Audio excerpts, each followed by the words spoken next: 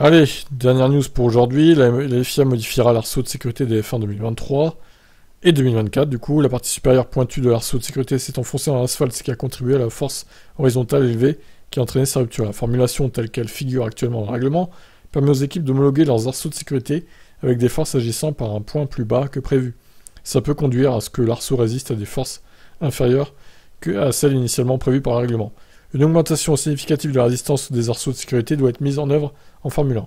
Ces questions ont fait l'objet de discussions approfondies lors de trois réunions du comité consultatif technique spécialement organisé pour analyser le problème.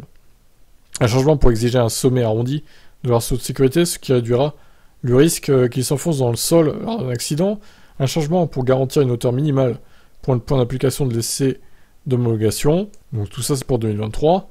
Création d'un nouveau test physique d'homologation où la charge pousse l'arceau de sécurité vers l'avant. Définition de nouveaux tests à effectuer par calcul. Pour 2024, la FIA confirme son intention de procéder à une refonte importante des tests de l'arceau de sécurité afin de garantir que les voitures résistent à des charges beaucoup plus sévères. Il était évident qu'une mise à jour des exigences relatives aux arceaux de sécurité était nécessaire après l'accident de Zou à Silverstone, déclara Mohamed Ben Sulayem. Et si cet incident nous a montré à tous combien les systèmes de sécurité de la F1 sont remarquables, il a également prouvé une fois de plus que nous devons continuer à innover et à poursuivre les questions de sécurité sans compromis.